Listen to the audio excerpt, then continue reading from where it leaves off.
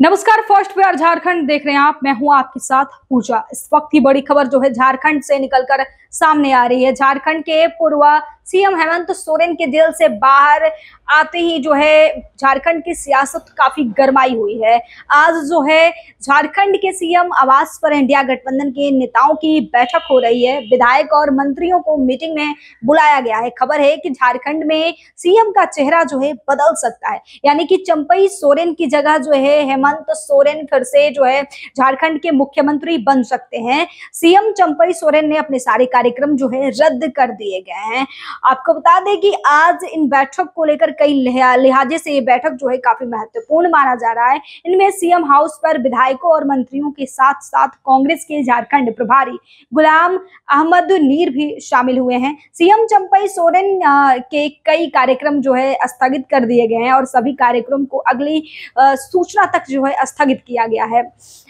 आपको बता दें कि इससे पहले मंगलवार को मुक्ति मोर्चा के कार्यकारी अध्यक्ष हेमंत सोरेन जो है, चंपई सोरेन के आवास पर जाकर उनके घर जाकर उनसे मुलाकात किए थे और आधे घंटे तक जो है दोनों नेताओं के बीच बातचीत हुई थी। अगर क्या बातचीत हुई, ये तो निकलकर सामने नहीं आई। इसके बाद कांग्रेस के प्रदेश अध्यक्ष राजेश ठाकुर ने भी चंपई सोरेन से उनके आवास पर जाकर मुलाकात की। इन मुलाकातों के बाद जो है, आज होने वाली मीटिंग जो है, बहुत महत्वपूर्ण माना जा रहा है।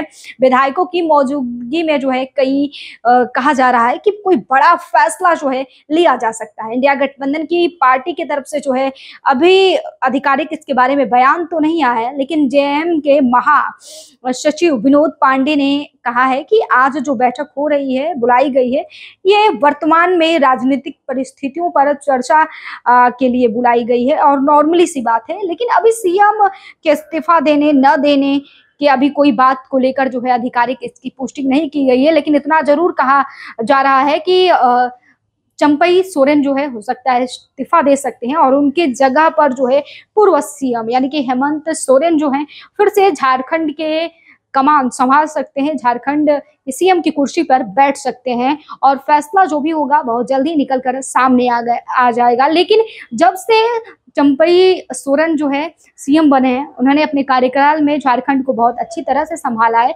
लेकिन अब जो है, उनके इस्तीफा देने की घड़ी जो है, अब धीरे धीरे नज़दीक आती जा रही है, क्योंकि अब झारखंड के सीएम का चेहरा जो है, बदल सकता है और नए सीएम जो है, अब हेमंत सोरेन बनेंगे।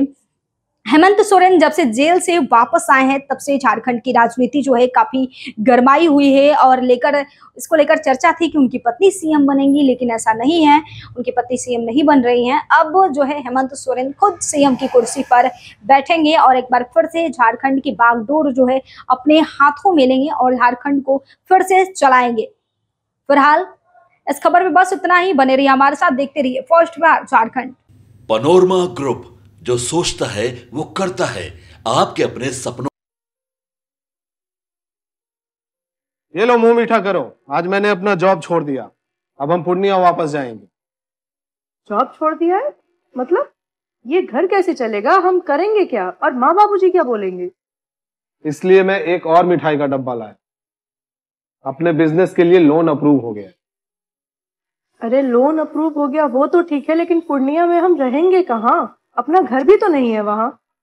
इसलिए तो एक और मिठाई का डब्बा अलग से लाया हूँ। हमने पूर्णिया में घर ले लिया है। पूर्णिया के ई होम्स पैनोरमा में। पूर्णिया में पैनोरमा ग्रुप लेकर आए हैं। ई होम्स पैनोरमा बड़ा घर आलीशान ज़िंदगी और अत्याधुनिक सुविधाओं के संग। अरे अरे अब क्यों मुँह मीठा करवा रही हो? क्योंकि हम घर वापसी जो कर रहे हैं। घर वापसी की खुशी। पूर्णिया में ई होम्स पैनोरमा के संग। eHomes Panorama. Luxurious. Lifestyle redefined.